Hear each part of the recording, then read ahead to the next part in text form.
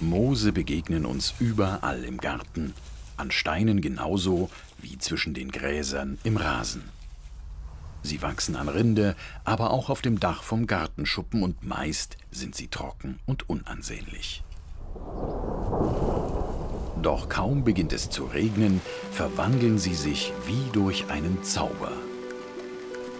Die trockenen Blätter saugen jeden Tropfen auf und entfalten sich zu saftigen Polstern.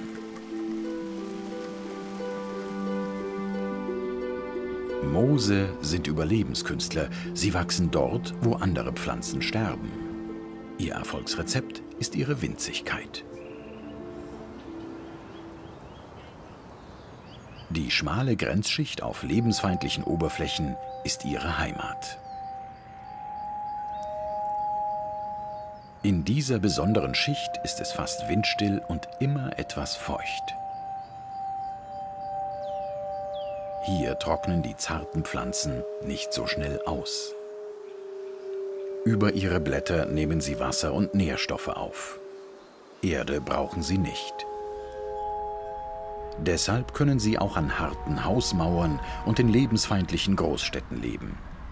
Dort leisten sie wichtige Dienste für uns Menschen.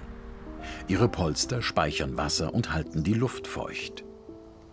Ihre Blätter kämmen Feinstaub und Pilzsporen aus der Luft.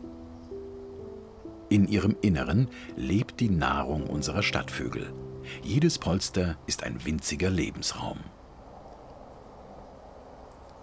Tauchen wir ein in die Mooswelt, ist das wie ein Gang durch den Dschungel. Hundertfüßer jagen hier nach Springschwänzen und kleinen Insekten. Winzige Schnecken raspeln an den Blättern und Asseln finden hier Schutz vor der Sonne. Im Wasserfilm der Moose leben die Bärtierchen. Sie erstaunen die Wissenschaft immer wieder, denn sie sind noch widerstandsfähiger als die Moose. Sie überleben jahrelange Trockenheit genauso wie radioaktive Strahlung und tiefste Minusgrade.